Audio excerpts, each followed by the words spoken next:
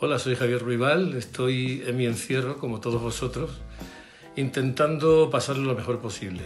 Yo estoy solo en casa, así que leo, duermo, cocino, como, eh, escribo, toco la guitarra, que es mi oficio, y también aprovecho el telediario para en lugar de sentarme a verlo, me lo paseo. Hoy han caído 5 kilómetros.